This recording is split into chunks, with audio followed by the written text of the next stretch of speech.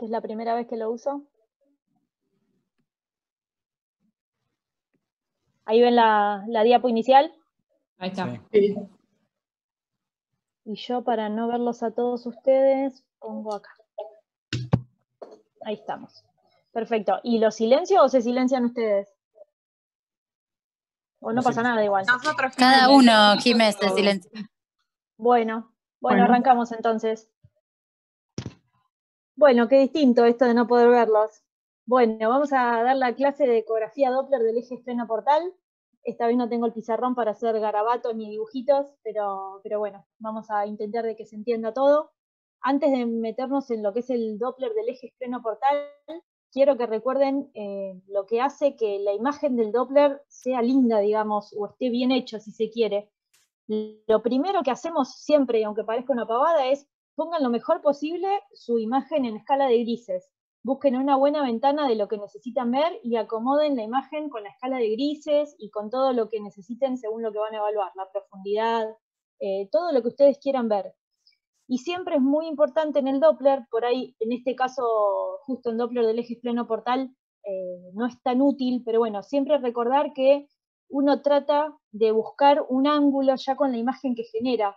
¿Ustedes ven el puntero si yo marco? Sí. Perfecto. Fíjense que si uno imagina el transductor con el haz de ultrasonido descendiendo en modo directo hacia el vaso que uno quiere ver, lo ideal ya es en la escala de gris posicionar a ese vaso de modo tal que ya uno pueda obtener el ángulo que después va a querer usar para el Doppler color y espectral. O sea, no es lo mismo que encontremos la vena porta, como ahora después vamos a ver, así, que la pongamos horizontal, ¿sí? Siempre traten de mejorar y, ya tener la imagen lista en escala de grises para ya poder ver un ángulo. Obviamente en el abdomen uno usa el convexo, entonces esto no es tan así. Pero bueno, siempre tratemos de buscar esta buena imagen en escala de grises. Después sí, vamos a poner el Doppler color y vamos a acomodar los parámetros del Doppler color. Ustedes así como tienen la ruedita o la escala de grises, también tienen la ruedita para acomodar la ganancia color, ¿sí? Así que háganla o acomódenla de modo tal de que no quede eh, pintado por fuera del vaso ni poco pintado, digamos, de estrellitas de colores. Y también lo otro que acomodan acá en el color es el PRF, en realidad para un poco acercarnos a la velocidad del vaso que vamos a estar viendo, para que no nos quede ese aliasing en color, digamos, de la imagen, sino que ya tengamos una buena imagen. Y recién en un tercer paso ponemos el Doppler espectral o pulsado, ¿sí? No nos vayamos directo a, al pulsado sin haber acomodado la imagen color, porque bueno, si uno va haciendo estos pasos va a hacer que cuando llegamos a este lugar ya tengamos que acomodar muchas menos cosas que, que si no queremos acomodar todo de golpe y se nos mueve, ahí entra uno más, se nos mueve la, la imagen y todo cuando la tratamos de hacer. Entonces primero la escala de grises, después el color y recién después el espectro. Y obviamente cuando ponemos el espectral también vamos a tener que acomodar dos cosas. Esperen que me pasa cómo ser. La ganancia pulsada, que la ganancia es la ruedita de pulsado, pero va a hacer que haya más o menos color eh, en, lo que es la escala. Y el PRF o la velocidad, que también la vamos a acomodar para que no nos quede ni una onda muy chiquitita ni una onda muy grande en lo que estamos evaluando. O sea, la, la velocidad que la vamos a tener en la escala acá al costado, también lo acomodamos. Y recién después de ahí vamos a empezar a sacar conclusiones. ¿sí? Siempre acuérdense de mejorar todo esto para que además el que ve la fotito la vea bastante linda, digamos. ¿sí? Bien, esto es un poquito más de lo mismo. Fíjense que acá sí tenemos una imagen con un transductor lineal y donde la imagen ya del vaso ya la vemos que está eh, oblicua, digamos. Entonces esto ya solito de por sí hace que uno pueda obtener ese ángulo que necesitamos tanto para hacer un buen Doppler. Bien, en cuanto a lo que es la clase de hoy de Doppler del eje espleno portal, vamos a ir recordando un poquito de la hemodinámica normal del eje espleno portal, que es lo más importante para esta clase. Vamos a, repasar qué tenemos que evaluar cuando hacemos un Doppler del eje espleno portal y por qué. Y vamos a tratar de explicar los cambios que suceden cuando hay casos de hipertensión portal o de cirrosis, que es la mayoría de las indicaciones. Entonces, recordando un poquito qué es lo que tenemos que ver, este es nuestro dibujo o formato que tenemos que tener mentalmente para poder saber qué ir a buscar, ¿sí? Recordemos que el hígado recibe el 75% de la sangre de la vena porta, 70, 75, 80, según donde lo leamos. Pero bueno, la vena porta que trae sangre de la vena esplénica, de la vena esplénica, perdón, la mesentérica superior y la mesentérica inferior, para traer todos los desechos, digamos, y residuos de todo el tracto gastrointestinal. Y un 25% del resto del aporte sanguíneo está dado por la arteria hepática, que nace de la aorta del tronco celíaco, dando la hepática, la esplénica y la coronaria estomática, que no la digo.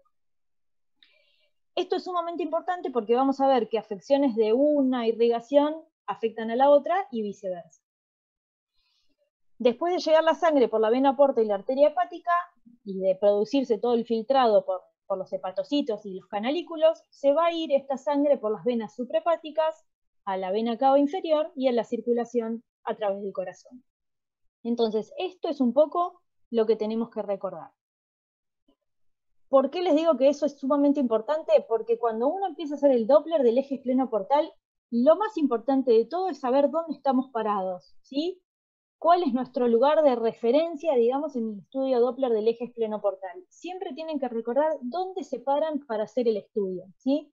Yo siempre les digo que este va a ser nuestro punto de encuentro. Pueden estar haciendo Doppler del eje esplenoportal y perderse porque les va a pasar que invierten el color, invierten las posiciones, cambian de lugar la mano, el transductor. Entonces, siempre vuelvan a su punto de referencia que es el hilo hepático. Este es el lugar de referencia que les va a servir para volver a acomodar todos sus parámetros.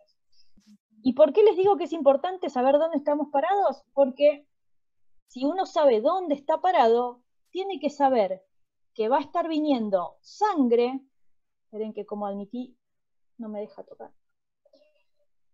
Bien, uno está parado acá y tenemos que saber que obligadamente la vena porta y la arteria hepática me van a traer sangre a donde yo estoy parada. ¿sí? Obligadamente me van a traer sangre. Mientras que las venas suprahepáticas se van a llegar la sangre desde donde yo estoy parada, ¿sí? Entonces, esto es una de las cosas más importantes a tener en mente para saber qué está pasando cuando estamos haciendo el Doppler del eje esplenoportal, ¿sí? Y después de entender esto, recién después de ahí vamos a ir a evaluar el resto de la panza. Pero este dibujito así de tonto como parece es dentro de todo lo más importante. Si yo me paro acá, la sangre de la porta y de la arteria hepática tiene que venir hacia mí, y si yo me paro acá, la sangre de las venas suprahepáticas se tiene que alejar de mí o de mi transductor, digamos, en este caso.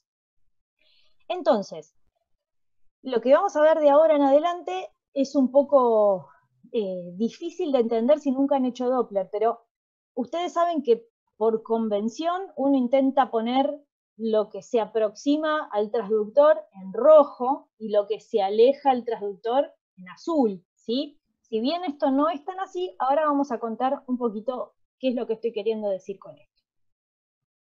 Entonces, empezamos nuestro estudio del Doppler del eje esplenoportal, evaluando lo primero y una de las cosas más importantes, que es la vena porta. ¿sí? La vena porta, y recordando dónde estamos paradas, la vamos a ver primero en escala de grises. El lugar más fácil de ver este lugar es como cuando ustedes evalúan la vesícula o el, o hilio hepático. Es en general una, ventana intercostal, es de las más fáciles y que mejor imagen nos, nos da. Entonces, uno va a ver la vena porta, ¿sí?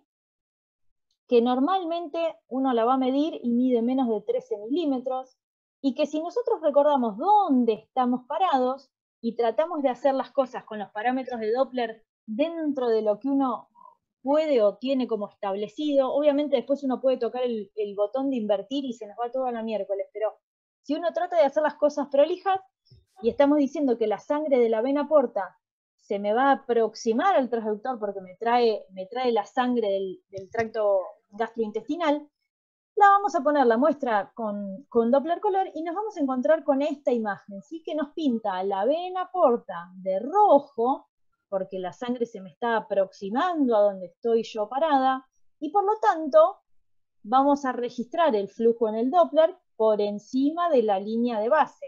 ¿Se entiende? Me trae la sangre hacia el transductor, si se quiere. Vamos a entenderlo así para poder entender el resto. Sabemos que es un poco eh, como muy fijo este concepto y no tiene que ser tan así, pero prefiero que lo, tomen así y después lo vamos modificando.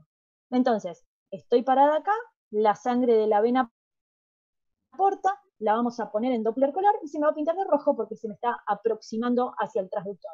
Y por lo tanto va a tener un registro que es puramente por encima de la línea de base. Entonces, vamos a decir que una vena porta normal debe ser de menos de 13 milímetros, menor de 13 milímetros, ahora después les voy a contar qué pasa cuando hay hipertensión portal. Pero normalmente mide menos de 13 milímetros, tiene un flujo que se me aproxima al hígado, o sea, ese patópeto se viene hacia el hígado. Un flujo que es monofásico, ven que no tiene mucho más que una barra, sí tiene una ligera ondulación, que eso se corresponde con los movimientos de la respiración típicos, ¿sí? Pero esto es la vena porta normal. Si uno pudiera acá medir las velocidades, es una vena que tiene bajas velocidades, ¿sí? pero normalmente están entre 20 y 30 centímetros por segundo. ¿Qué quiero decir con esto? Que cuando vamos a, ajustar los parámetros, vamos a tener que bajar las velocidades para poder ver un buen registro de onda de vena porta. ¿sí? Si estamos sabiendo que lo normal es de 30 centímetros por segundo, trabajemos con una escala de 60, de 70, pero no mucho más. Entonces, vamos a ver un video en tiempo real, una imagen intercostal, vemos el hígado y vemos cómo la vena porta se nos pinta de rojo, ¿sí? Y bueno, ya se ve por sí mismo una imagen arriba que después lo vamos a charlar, que es la arteria hepática. Pero bueno, así es como normalmente debemos ver la vena porta, ¿sí? Cuando le ponemos el espectro, fíjense cómo uno ya logra o trata de buscar ese ángulo que les decía entre el ángulo de insonación ultrasonográfico y el vaso, donde ya uno ve que hay una cierta angulación, que obviamente no la estoy midiendo acá, pero les puedo decir que estaríamos en los 60 grados. Ponemos el pulsado y fíjense cómo uno registra normalmente una vena porta, ligeramente ondulante, pero es una, una, onda de flujo que no tiene mucho más que una monofacidad, digamos, es solo por encima de la línea de base, ¿sí? Y fíjense si uno traslada la escala de las velocidades que está trabajando, obviamente esto no sería lo ideal ponerlo en 120, sino que si hubiésemos acomodado los parámetros que les digo, tendríamos que estar trabajando con velocidades más bajas para tener una onda un poquito más alta. Pero si se fijan, estamos más o menos a la mitad, o sea que estaremos en 30 centímetros por segundo. Esto es un registro de una vena porta totalmente normal. Vamos a pasar a nuestro segundo gran, eh, gran imagen o gran vaso a estudiar, que es la arteria hepática. La arteria hepática la verdad que no tiene mucho, eh, pero bueno, nos da un dato que es fundamental y que es el más importante de toda la evaluación, que es conocer el sentido de flujo de la vena porta. De todos los que yo les estaba diciendo recién, está todo muy lindo donde yo me paro y qué es lo que intento ver, que la vena porta se pinta en rojo, pero siempre voy a estar dudando del flujo de la vena porta si no logro identificar esta otra estructura que está arriba, que es la arteria hepática. ¿sí? La arteria hepática, y recordando dónde estamos parados, la arteria hepática obligadamente me va a traer la sangre hacia el hígado, ¿sí? Eso no hay, no se discute, digamos.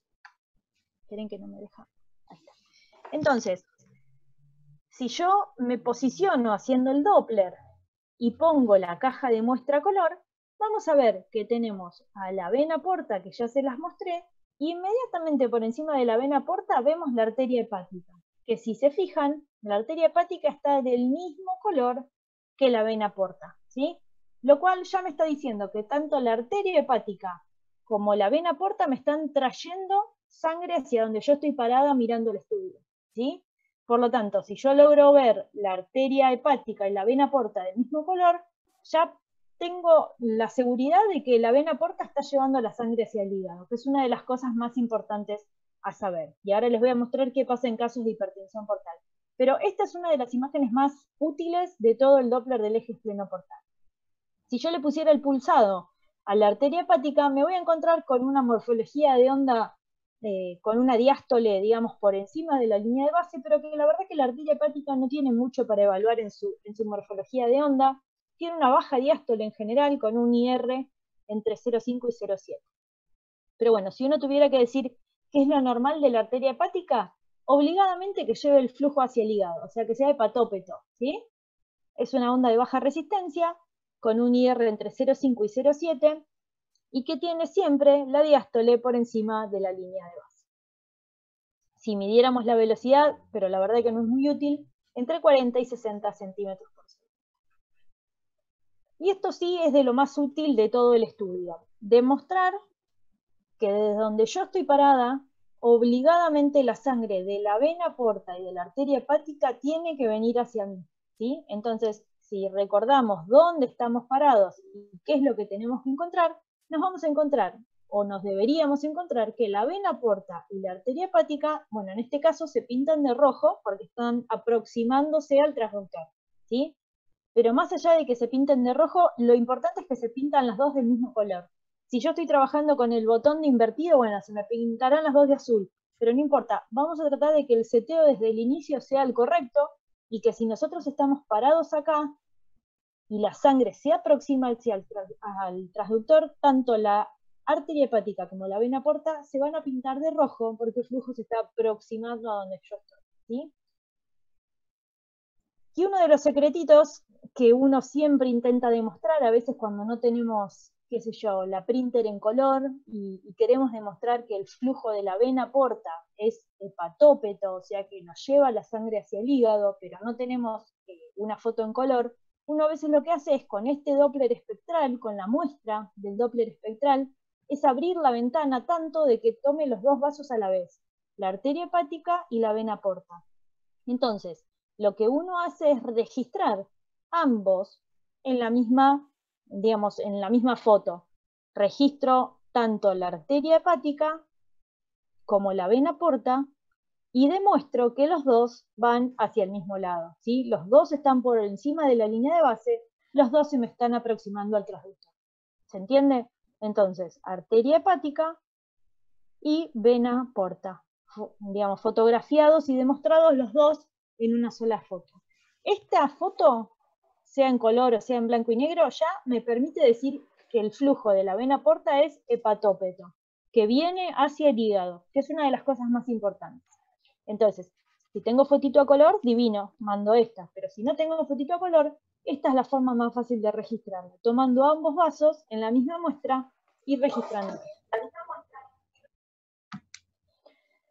En este video vemos cómo esto se ve en vivo, entonces recuerden, en la escala de grises, toman la mejor ventana, ya con el ángulo, con la vena porta, al ángulo de insulación, ponen el color, mejoran la ganancia color, trabajan con sus velocidades OPRF y recién después ponen el pulsado. Y una vez que ponen el pulsado, amplían la muestra para tomar ambos vasos y lograr este registro, arteria hepática por encima y vena porta, digamos, superpuesto al registro de la arteria hepática. Demostramos que los dos vasos tienen el mismo sentido de flujo, los dos van hacia el hígado.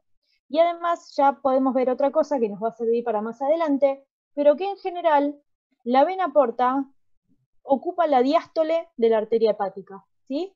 Si se fijan, la vena porta hace que yo casi no vea la diástole de la arteria hepática. ¿sí? Es como que eh, esa es la altura esperada de la vena porta.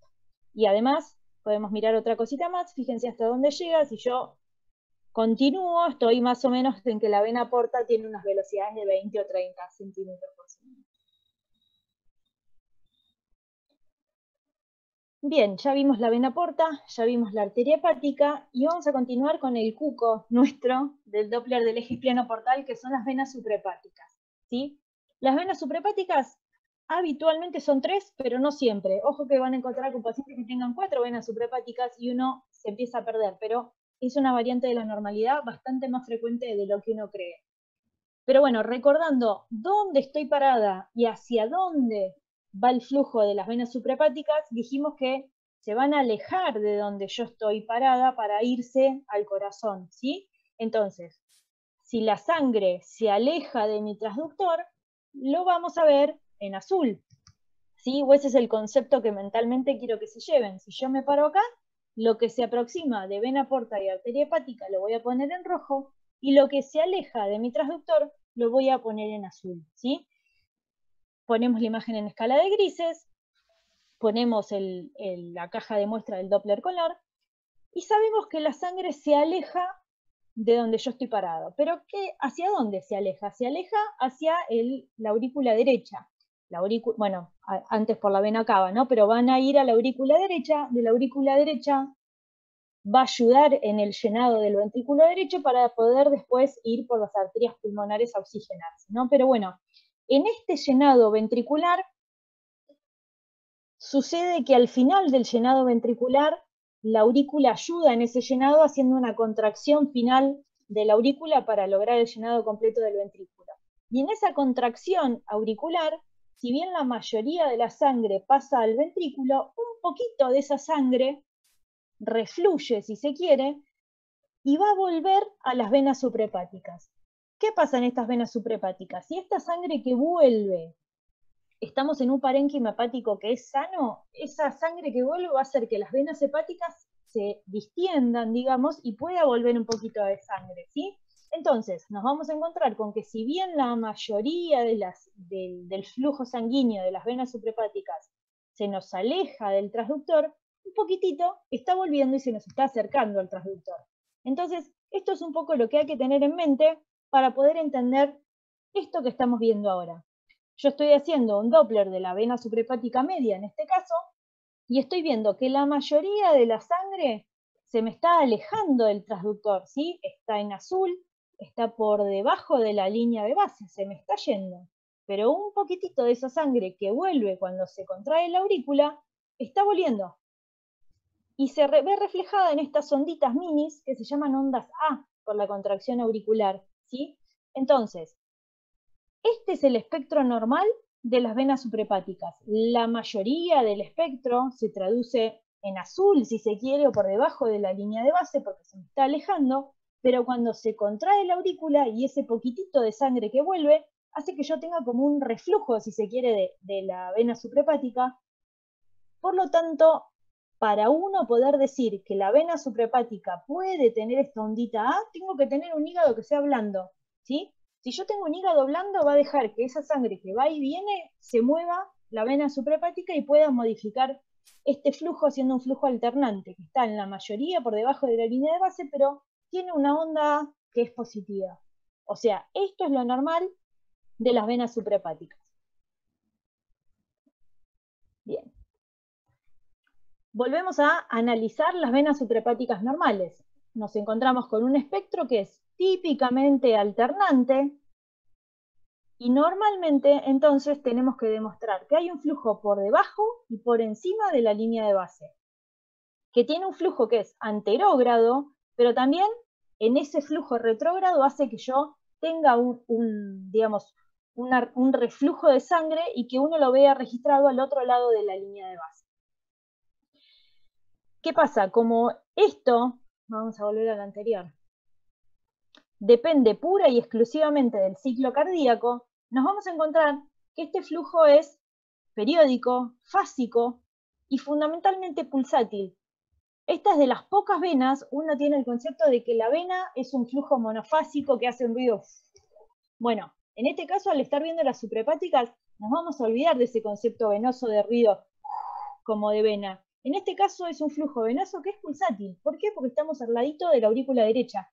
¿sí? Entonces, esa pulsatilidad de la contracción auricular la vemos reflejada en este flujo alternante de las venas suprahepáticas. Por eso también les puede pasar que viendo pacientes con, patología valvular, eh, digamos, cardíaca, también tengamos traducción en, la imagen del espectro de las suprahepáticas. Pero bueno, vamos a, continuar con lo normal y después vemos lo patológico. Bien, ¿qué más tengo para decirles de esto? Miren, vamos a volver a lo que yo les digo siempre. Me acuerdo dónde estoy parada, dónde está mi estudio, que casi siempre es desde la vía intercostal, donde estoy mirando el hilio, y me acuerdo que las suprahepáticas en general se van a llevar la sangre, o sea, la mayoría lo voy a ver azul, pero esa contracción auricular que les explicaba hace que uno pueda ver ya en el, en el Doppler en color, ya va a saber que la suprahepática es normal. Fíjense, yo la estoy viendo azul, se aleja y en la contracción auricular vuelve un poquito y la veo roja. ¿Se dan cuenta? Este ya, esta ya variabilidad en color, sin todavía haber puesto el espectro, ya me está diciendo que va a ser una suprahepática normal. ¿sí? Que yo voy a ver la mayoría del espectro alejarse, pero esa traducción en color en rojo me está diciendo que voy a tener las ondas A presentes. ¿sí? O sea que un poquito se está alejando y un poquitito está refluyendo lo cual es lo normal, porque las paredes de las venas son, digamos, se amoldan a la estructura que está al lado y como tenemos un hígado blando, esas venas suprahepáticas están modificando su calibre según el latido cardíaco, porque el hígado que los rodea es un hígado blanco. ¿sí? Entonces, para cuando pongo el espectro, ya sé que el flujo va a ser totalmente normal. Acá justo sucedió que frisé la imagen cuando estaba justo en, el, en la onda, digamos, en el, en el reflujo, si se quiere, porque si no la tendría que haber puesto azul. Pero si se fijan, este espectro es como los decíamos. La mayoría del, del flujo se aleja, digamos, de nuestro transductor y lo encontramos por debajo de la línea de base, pero cuando la aurícula se contrae, un poquito de sangre refluye y es lo que está haciendo que se me aproxime al transductor, digamos, y lo vemos como estas pequeñas ondas A de contracción auricular que deben estar presentes. Yo en esta clase no les puse todos los del electro, pero es un poquito lo mismo la variabilidad de las ondas de las, de es como acorde al, electrocardiograma, que uno sabe cuál es la onda P, cuál es la onda, las ondas del electro. Bueno, y esto es un poquito lo mismo, ¿sí? Recordar entonces que tenemos que tener flujo de los dos lados de la línea de base. Esto es suprahepática normal. Entonces, resumiendo lo normal y antes de pasar a lo patológico, vamos a recordar que la vena porta entonces tenemos que tener una vena porta que sea permeable, que sea menor de 13 milímetros de calibre, que el flujo se aproxime al transductor, o sea, que la porta lleve sangre hacia el hígado, que sea un flujo hepatópeto, constatar que sea igual al flujo de la arteria hepática, con velocidades entre 16 y 30 centímetros por segundo. En cuanto a la arteria hepática, no tiene mayor utilidad que demostrarnos el flujo, el sentido del flujo. Ahora vamos a ver por qué el IR no es muy útil. Y sí, las venas suprahepáticas, dentro de las cosas más importantes, demostrar que están permeables, que tienen un flujo alternante por encima y por debajo de la línea de fase, y muchos lo llaman trifásico y muchos lo llaman tetrafásico, según los picos que tenga esta onda. ¿sí? Yo en general le hablo de trifásico. Jimmy, te hago una consulta en cuanto a las venas suprahepáticas. Decime. Eh, ¿Qué tan importante es o qué tan clave es tomarlo proximal o más distal a la desembocadura en la cava? ¿Viste? Muchas veces decimos nosotros de tomarlo lo más distal posible. O... Sí, ¿Importa cuanto más cercano lo tomes a la vena cava, más difícil te va a generar el registro porque el latido cardíaco hace que sea más complicado. Pero a su vez, cuanto más te alejas, es más difícil de registrar el flujo alternante. Entonces, por ahí ni muy cerca, eh, muchos dicen a un centímetro de cuando uno ve llegar a la vena cava. Ahí te va a generar muchísima movilidad y, movimiento, lo cual es bastante más difícil. En general, vamos a volver a un registro de foto, pero en general deberías tratar de tomarlo un centímetro o dos centímetros de la llegada a la vena cava inferior ahí es como que vas a encontrar lo mejor posible. Y ojo que muchas veces pasa que uno no encuentra el flujo alternante en las tres suprahepáticas. Está descrito que pueden empezar a perder, ahora vamos a ver la patología, pero que uno debería tomar en las tres suprahepáticas. Y eso es recontra difícil. Vas a encontrar que esta es la que te da imagen más linda, porque no, no porque sí, es la que tiene el mejor ángulo. Entonces, cuando te vas a esta, ya el ángulo no es tan fácil, el registro acá no va a ser tan bueno. Entonces, en general deberías tomarlo ahí a un centímetro, dos centímetros de la desembocadura a la cava, pero no es lo más fácil. Buenísimo, gracias. No, no. Bien, entonces, sabiendo qué es lo normal y qué es lo normal que tenemos que ir a buscar, ¿qué pasa cuando hay una hipertensión portal? O sea, ¿qué pasa cuando nos encontramos con un hígado que es rígido, ¿sí? O chico, o rígido, o depende del estadio en que estemos evaluando al paciente. Pero nos vamos a encontrar que la vena porta, el flujo que está llevando empieza como a chocar contra una pared, ¿sí? Le cuesta cada vez más ingresar ese flujo del 75% de la circulación al hígado, ¿sí?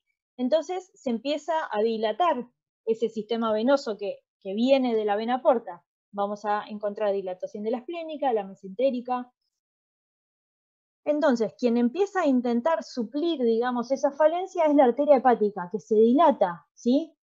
¿Para qué? Para tratar de compensar que ese 75% de la circulación que está tratando de entrar la está costando. Entonces empiezan como a invertir un poquito los porcentajes de aporte sanguíneo. Y vamos a ver que la arteria hepática se dilata un poquitito. Ahora lo vamos a ver algo en imágenes que nos, nos puede ayudar. Acompañando esta dilatación del sistema venoso, nos vamos a encontrar con los hallazgos que ustedes ya conocen de hipertensión portal, como esplenomegalia, como esta, digamos, circulación colateral que se traduce en varices esofágicas inferiores. Y a veces este, este intento de chocar contra una pared hace que uno salte, digamos, o se saltee esos, esos stops que hay o ese hígado rígido, entonces empiezan a nacer las colaterales que no existían, como esto que es la recanalización del ligamento umbilical, y que se va a ir o, se va a acompañar de la cabeza de medusa en la exploración del abdomen. Además, toda esta, digamos, hipertensión no solo de la porta, sino del sistema venoso en general, hace que comience a haber una trasudación de líquidos conformando la citis que uno, que uno ve en la práctica diaria. Entonces, si uno tiene todo esto que puede llegar a suceder en casos de hipertensión portal, va a poder un poco saber qué es lo que tiene que ir a buscar, ¿sí? Entonces, ¿qué cosas, ya vimos lo que es vena porta normal, pero qué cosas pueden suceder cuando hay una hipertensión portal, como en el caso de una cirrosis, supónganse? Puede suceder que a la vena porta le cueste ingresar la sangre, ¿sí? Entonces nos vamos a encontrar con una vena porta que se dilata y que va con un flujo mucho más lento, mucho más despacio tratando de ingresar ese aporte sanguíneo, ¿sí? Pero también puede pasar que le cueste tanto ingresar que revierte su flujo. ¿sí? Entonces da media vuelta y sale la sangre para el otro lado, se torna hepatófugo, ¿sí? No tanto hepatópeto como veníamos repitiendo, sino que se cansa de luchar contra una rigidez y vamos para el otro lado. O a veces esta misma eh, éxtasis, eh, perdón, estasia sanguínea hace que se genere como una trombosis, ¿sí? Eh, tan lenta va la circulación y tantos factores en general tiene asociado este paciente por la hepatopatía que se puede producir una trombosis de la vena porta. Entonces, así como vimos lo normal de vena porta, recuerden que estas son las cosas patológicas a buscar en casos de sospecha de hipertensión portal. Entonces, vamos a comenzar diciendo si le cuesta llevar un poquito la sangre al, hígado.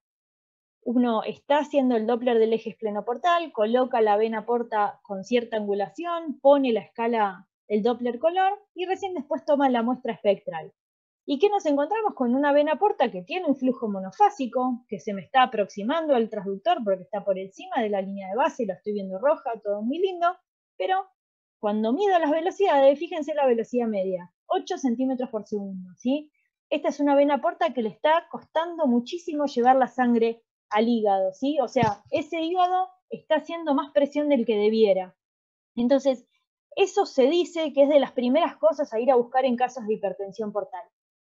No es tan fácil, la verdad que no es sencillo, es difícil de ver, pero fíjense que para poder ir a buscar esto uno tiene que trabajar con escalas bajas. ¿sí? Si estamos diciendo que la vena porta normalmente mide entre 20 y 30 centímetros por segundo de velocidad, trabajemos con esas escalas, bajemos los parámetros, busquemos, acomodemos los parámetros tanto en color como en pulsado para poder tener un registro. ¿sí?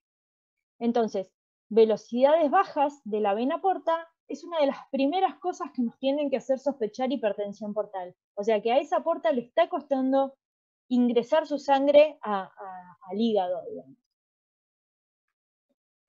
Cuando consideramos que tiene velocidades bajas, esto también es discutido y depende de dónde lo miren y dónde sale la información, pero bueno, en general velocidades de menos de 15 centímetros por segundo es lo que uno tiene que prestar muchísima atención porque puede estar con casos de hipertensión portal. La realidad es que nosotros en el hospital vemos o normales o totalmente patológicos, ¿sí? Entonces, vamos a tratar de buscar esos casos donde no son tan obvios. O sea, el paciente que tiene una citis obviamente va a tener una hipertensión portal y vamos a encontrar cosas patológicas. Pero busquemos los pacientes que todavía no tienen tan establecidos los, los hallazgos a la vista, digamos. Busquemos los pacientes con, con hepatopatías autoinmunes, miremos, aunque no nos hayan pedido el Doppler, empiecen a mirar las velocidades de la puerta, tratar de hacer estos parámetros y mejorar la imagen hasta que puedan tener experiencia eh, en estos casos. Decíamos que a veces le cuesta tanto ingresar que, bueno, revierte su flujo y dice, bueno, no puedo entrar más, me voy. Y me voy para el otro lado, entonces me fugo, digamos, hago un flujo que es hepatófugo, ¿sí? Un flujo reverso en la vena porta. Esto se dice eh, que es lo más eh, no sé si patognomónico es la manera, porque no es la palabra, pero es lo más fidedigno para demostrar que hay una hipertensión portal. ¿Qué es lo, verdadero, qué es lo real que uno ve en la práctica diaria? Nunca encontramos un flujo reverso. Si alguien vio un flujo reverso alguna vez, se lo acuerda, porque es lo menos eh, frecuente. O sea, yo creo que debo haber visto dos desde que hago Doppler del eje pleno portal. Eh, la mayoría de los casos uno está poniendo los parámetros mal, está tomando mal eh, algo, algo, o enganchamos la arteria hepática que a veces tiene una, como una morfología media, como que hace un remolino y uno lo está viendo de un lado cuando lo tiene que ver del otro. La realidad es que es difícil de ver un flujo reverso. Casi toda la, hipertensión, eh, la vena porta la termina como liberando por colaterales en vez de hacer un flujo reverso. Pero bueno, es una de las posibilidades de ver, es un flujo reverso en la vena porta, o sea que sea un flujo hepatófugo. Y en el caso de que uno vea esto, fíjense esta imagen ecográfica. Esto es un hígado claramente cirrótico, con líquido libre, con contornos irregulares. Dentro de todo lo mal que se ve, uno puede generar una buena imagen del hilo hepático. Y fíjense cómo se ve la arteria hepática roja por arriba y la vena porta azul, totalmente azul y totalmente invertida al flujo de la arteria hepática por debajo.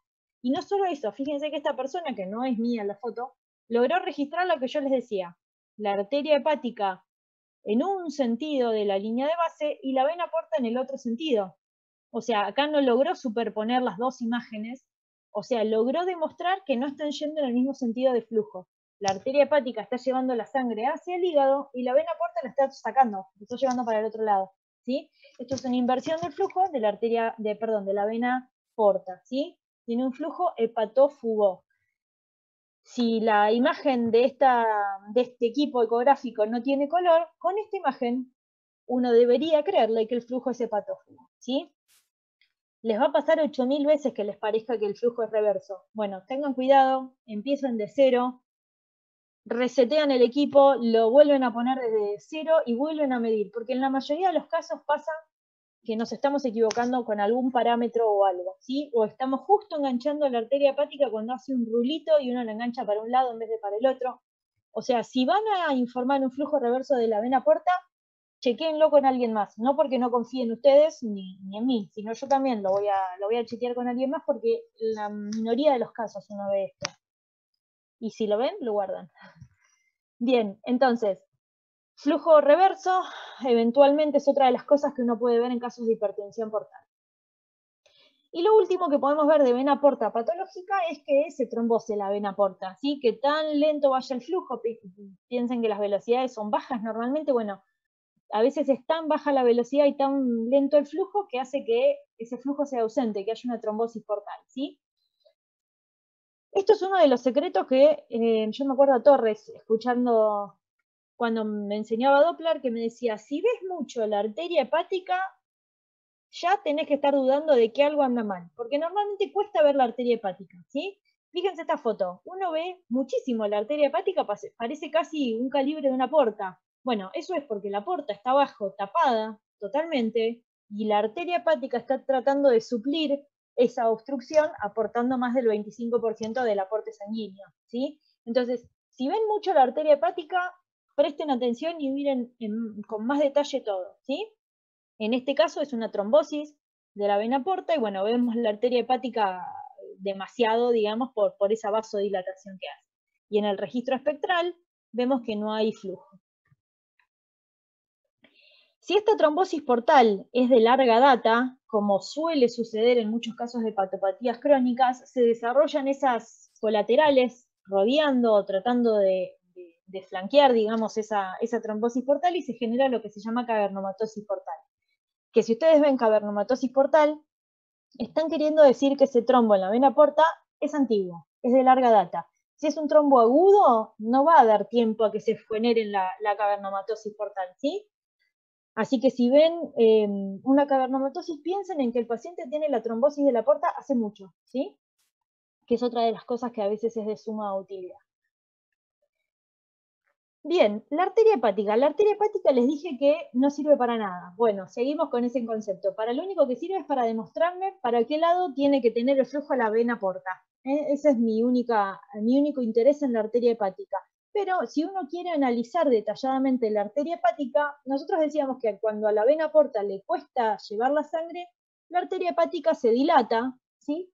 Y si una arteria se dilata, uno lo que va a encontrar es que el IR baja todavía más, ¿sí? O sea, vamos a tener la sistólica y la diastólica muchísimo más cerca, digamos, sus picos y va a hacer que el IR sea menor a 0,50, ¿sí? O sea, se hace de más baja resistencia todavía. No sé si se entiende lo que estoy queriendo decir, pero ahora vamos a ver algunas fotitos. Esto en teoría es lo más frecuente que sucede, pero no siempre es así. La realidad es que otros artículos dicen que esa rigidez hepática también hace que la arteria hepática le cueste ingresar la sangre. Entonces a veces hasta está descrito que hace una vasoconstricción la arteria hepática, eh, aumentando inclusive el IR, y ahora lo vamos a ver. Por lo tanto, el IR de la arteria hepática no nos sirve de mucho. Sí, mi consejo es si ven mucho la arteria hepática en el color, presten atención, algo está pasando, ¿sí? Como la fotito que les mostraba recién. Si yo tengo tapada la porta, la arteria hepática está tratando de ayudarla, en, como si fuera no un polígono de Willy, pero como que se ayuda en la compensación del aporte sanguíneo. Entonces, en este caso, bueno, un paciente con una hipertensión portal, donde vemos que la diástole de la arteria hepática aumentó un montón, bajando la resistencia en menos de 0,5.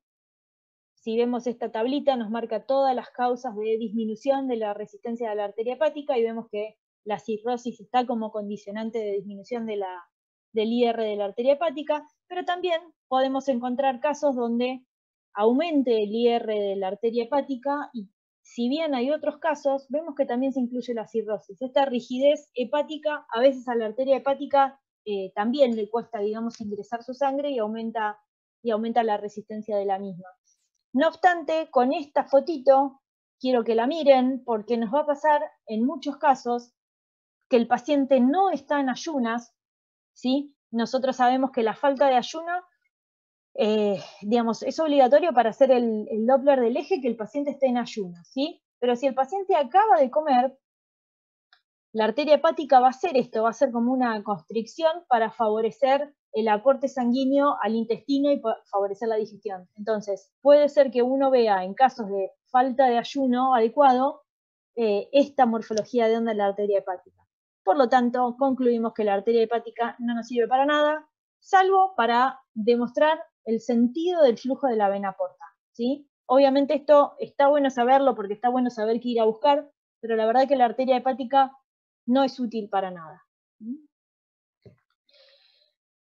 es útil esto que yo les mostraba hace un ratito, tratar de tomar en la misma muestra la arteria hepática y la vena porta. Y les decía que la vena porta ocupa en general la diástole completa de la arteria hepática. Bueno, ojo acá porque puede haber un, indicador temprano de patología hepática y es esto, que esté alterada el índice entre la vena porta y la arteria hepática. Fíjense este dibujito, este espectro, perdón, de la arteria hepática superpuesto a la vena porta, que está bien, los dos están con el mismo sentido de flujo, los dos, o sea, la vena porta tiene un flujo hepatópeto, pero si se fijan, estamos diciendo dos grandes cosas que yo les dije. Primero, que la vena porta tiene velocidades bajas. Y segundo, que la arteria hepática tiene diástoles altas, o sea que se está dilatando. Cuando uno ve este índice, o sea que sobra mucha diástole sobre la vena porta, esto es un indicador de hipertensión portal. A la vena porta le está costando entrar y la arteria hepática está vasodilatando y tratando de suplir esta deficiencia. ¿sí? Entonces, normalmente la vena porta coincide con la diástole de la arteria hepática Ojo cuando no coincide, ¿sí? Estamos hablando de vasodilatación de la arteria y de la vena porta con velocidades más bajas. Además, aprovecho a decirles que se metan en esta página en Sono World, que hay unas clases divinas de todo de ecografía. Bien, respiramos y seguimos, abriendo los ojos. Vamos a qué pasa con las venas suprahepáticas cuando hay hipertensión portal. Decíamos que normalmente las venas suprahepáticas alejan la sangre de donde yo estoy mirando para ir hacia el corazón y que un poquito de la sangre tiene que volver con, con la contracción auricular, ¿sí? Entonces, decíamos que todo esto es normal. ¿Qué pasa cuando nos encontramos con un hígado rígido? Esas suprahepáticas, primero, se afinan, ¿sí? Se van a quedar como que no tuvieran pared, entonces ese hígado rígido o cirrótico las aplasta y hace que sea muy difícil de ver, que es lo que en general nos pasa con la cirrosis nos cuesta hasta ver las venas suprahepáticas, ¿sí? Uno ve una linita periférica en el parénquima hepático y le cuesta hasta certificar que sea vena suprahepática, porque además eh, la onda nunca nos va a dar eh, como lo normal que veníamos viendo. Entonces, ese reflujo, si se quiere, con la contracción auricular que tenía que volver un poquitito a las, a las venas suprahepáticas, no lo logra, porque cuando se contrae la aurícula y trata de, la suprahepática de volverse a distender, tiene un hígado rígido al lado que no lo deja. Entonces la suprahepática no se va a poder abrir, por lo tanto va a quedar siempre en el mismo calibre, digamos, y rígida. ¿sí? Entonces nos vamos a encontrar que si buscamos patologías de las suprahepáticas, se van a encontrar finitas, que casi no las puedan ver, que no vamos a lograr registrar esa, esa onda retrógrada que yo les decía, ¿sí? que va a ser menos fásica porque no, no logra tener ese compliance hepático, y que no sea alternante, digamos, sino que es monofásico durante la patología. Entonces, vamos a volver a repasar lo normal con un flujo que es alternante por debajo y por encima de la línea de base, que estas son las ondas A que deben estar, que es por la contracción auricular, y el hígado blando me permite tener el registro de este flujo que vuelve. Y que cuando nos encontramos con un hígado que se empieza a poner más rígido, esa onda A ya no la vamos a encontrar por encima de la línea de base, sino que empieza a no pasar esa línea de base, ¿sí? para que a posteriori, cuando se pone más rígido todavía, cada vez podamos como ver menos ese, esa, esa onda A, para que finalmente no la podamos ver. Cuando uno encuentre un hígado rígido o una cirrosis avanzada, van a ver que el flujo de la vena porta es un flujo monofásico, donde uno no puede distinguir ni siquiera una ondulación, ¿sí? es como una barra que obviamente se aleja del transductor, por lo tanto, por eso se sigue registrando por debajo de la línea de base. ¿Se entiende esto? Así es como va a ir evolucionando la morfología de las ondas de las suprahepáticas. ¿sí? Alternante por encima y por debajo, ya después no logra ser alternante porque el hígado se vuelve rígido, para que finalmente sea solo una barra monofásica.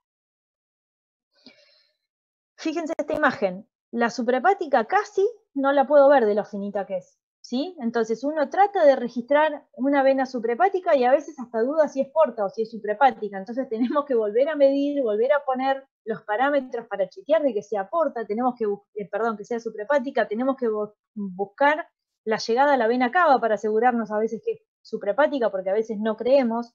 Y en este caso uno ya ve que no solo no tiene una ondulación, sino que es directamente una barra. ¿sí? O sea que el hígado que está rodeando esas suprahepáticas es un hígado rígido totalmente.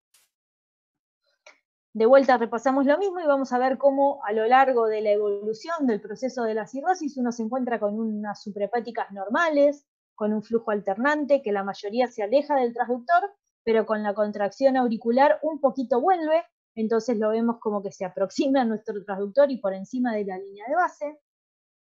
A medida que avanza el, el proceso, las suprahepáticas se van afinando, la sangre se sigue alejando del transductor y cuando intenta volver ya no puede porque el hígado está rígido, para que ya en el último proceso nos cueste totalmente ver las suprahepáticas y solo esas suprahepáticas sean una vía de pasaje de la sangre hacia el corazón y nada más. No puede volver nada porque tiene un hígado totalmente rígido a su alrededor.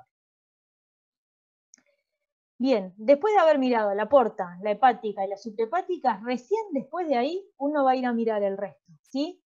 todo lo que decíamos, y esto es lo que ustedes saben, el sistema venoso se dilata, por lo tanto, esta, esta congestión de la vena esplénica va a ir acompañándose de una esplenomegalia, que siempre tomamos más de 13 centímetros de DL, ya lo consideramos, depende de dónde lo leamos, pero acuérdense de 13 centímetros para una esplenomegalia. Y el desarrollo de colaterales, esta pared que trata de, de flanquear, digamos, la vena porta, acuérdense que puede chocar contra una pared y desarrollar colaterales, y que estas colaterales se subdividen en lo que se llaman tributarias y desarrolladas. ¿sí?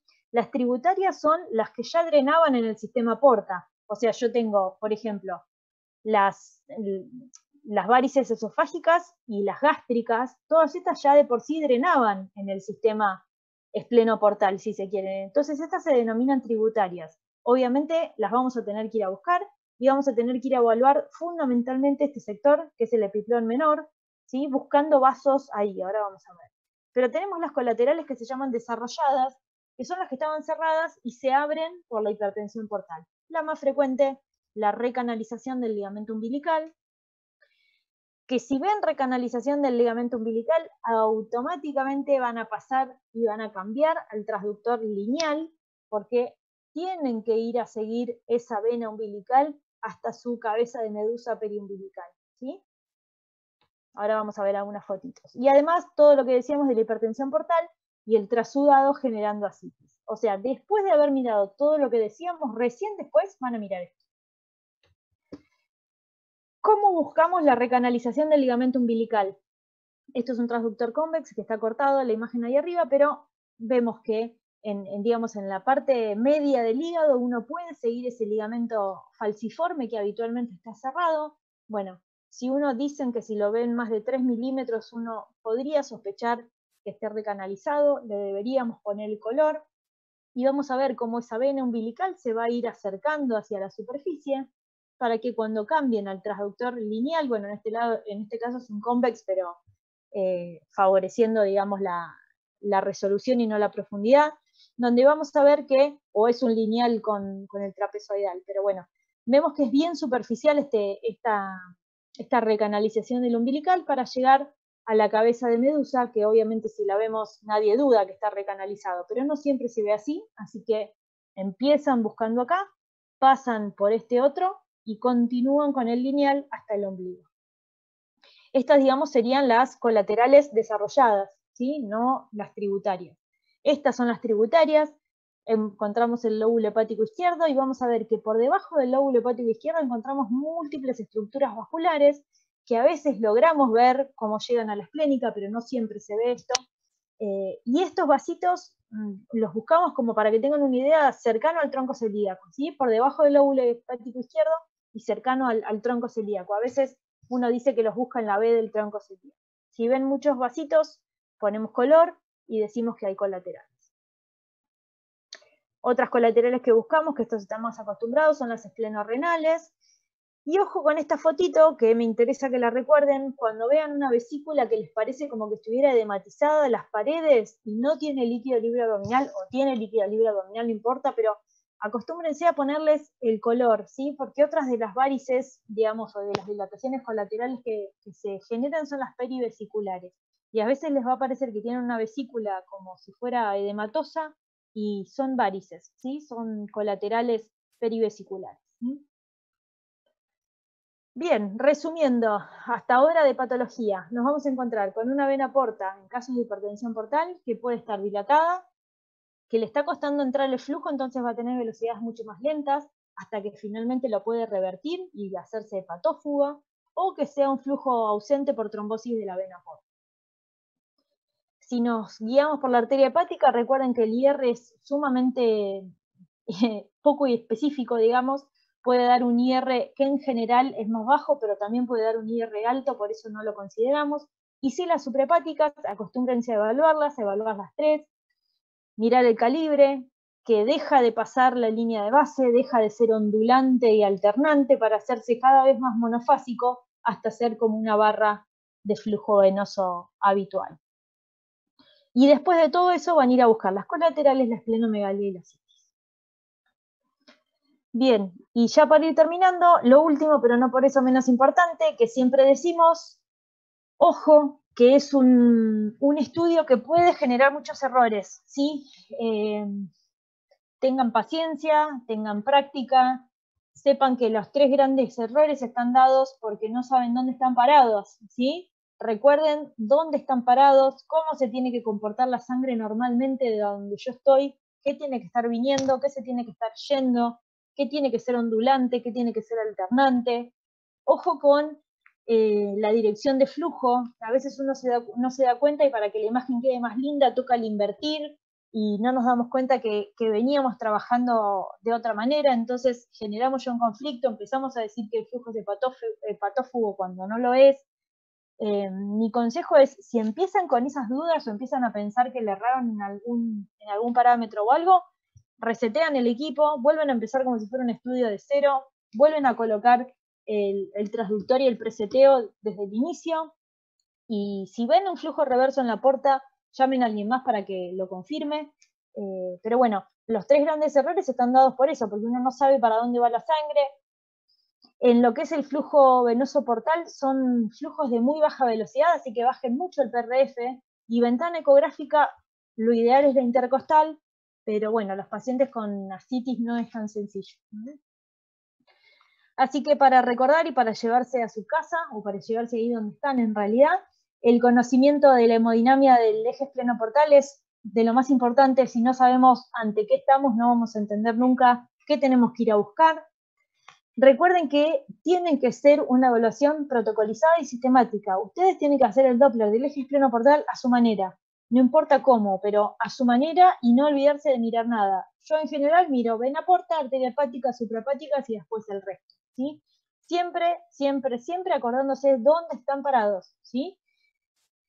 y bueno, no tiene otra, más, otra vuelta más que hacer, hacer, hacer, hacer. Después le va a pasar que cuando lleguen a la rotación de Doppler, por ahí no van a ver tanto Doppler del pleno portal, pero sin embargo, en, ecografía general ven un montón de abdómenes, así que traten de empezar a ponerle, aunque sea el color, corregir la ganancia color, corregir el PRF o la velocidad en color y después animarse a poner un pulsado.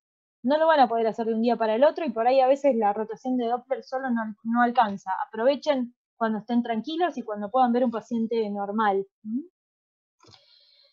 Y por último, y para, para poder decir qué es lo que tienen que tener en la plantilla del Doppler del eje, recuerden que un informe el hígado, obviamente el tamaño, los contornos, y si hay o no hay focales, la vena porta, lo que venimos repasando, el calibre, si está permeable o no, si el flujo es hepatópeto o hepatófugo. Las venas suprahepáticas, si tienen esa morfología alternante o trifásica, el IR de la arteria hepática, esto yo particularmente no lo informo, pero bueno, habría que informarlo. Obviamente si hay o no cavernomatosis en el caso de una trombosis portal. Las colaterales, recanalización, si vemos en el epiplón menor. Ojo que estas gástricas en el epiplón menor son, eh, digamos, automáticamente les estamos diciendo si tiene o no varices esofágicas. Así que estas son de las más importantes para poner. Las periumbilicales y la recanalización del ligamento umbilical. Si hay esplenomegalia y si hay líquido libre todo esto tendría que tener nuestra plantilla de informe del Doppler del eje. ¿sí?